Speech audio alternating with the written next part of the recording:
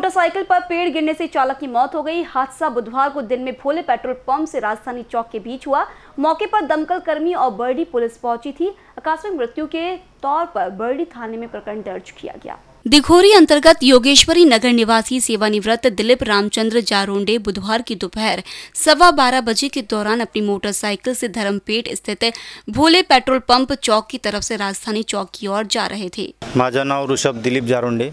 आणि माझे वडील मृत्यू झाले आहे. ते भोले पेट्रोल पंप ते ज्याचं आपला राजाराणी चौक या दरम्यान ते जात असता झाड प- कालच्या पाण्यामुळे पडलं की कसं ॲटोमॅटिक ते झाड त्यांच्या डोक्यावर पडलं आणि ते मृत्यू पावलेले आहे. माझी एवढंच म्हणणं आहे की त्या झाडीची निगराणी करावी. म्हणजे जर कोणाची गुपखानी ना हो आणि एन एम सी किंवा गव्हर्मेंटला माझं एकच म्हणणं आहे की त्यांना आर्थिक मदत देण्यात यावी. माझ्या वडिलाचं जे मृत्यू झाले त्यांचे नाव दिलीप रामचंद्रजी जारोंडे.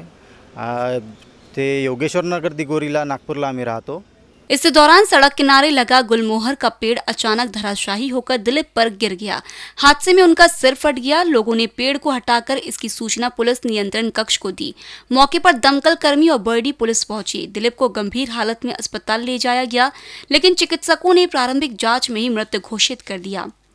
कैमरा पर्सन राजकुमार मोहर के साथ क्षितिजा देशमुख बीसीएन न्यूज़ नागपुर।